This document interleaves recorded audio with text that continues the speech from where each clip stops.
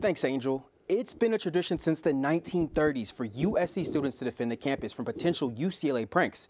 This year, the Trojan Knights, who usually guard Tommy Trojan and Hecuba, are suspended. But USC isn't worried because another group of students decided to step up.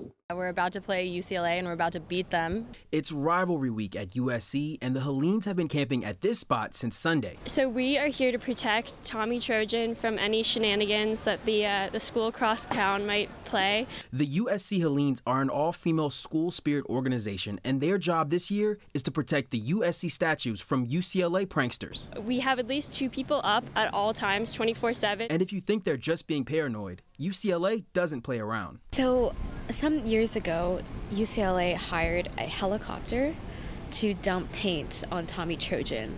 And while Tommy Trojan is wrapped up in tape, he's not the only USC statue the Helenes are guarding. It might be a little strange to have this giant box in the middle of campus, but it's here to protect Hecuba. It's like a giant sleepover. Um, it does get pretty cold at night, but luckily we've got a ton of blankets and sleeping bags. Everyone from the org has really come together and bringing out supplies. The USC community keeps them well fed for their long nights. We've had so many people donate food and drinks to us. They've it's been incredible. We're so so grateful for the generosity from both the university, the athletic department. And in case you're wondering, they're prepared for any incoming UCLA helicopters. Climb on top, shield him with our bodies, carry this tent over. It's not an easy job guarding one of USC's most iconic statues, but the Helenes are up for the task. Whatever we can do to protect Tommy. I spent the entire day with the Helenes. They gave me some snacks, and they even said I could camp out with them tonight. Uh, but I think I'll just sit this one out.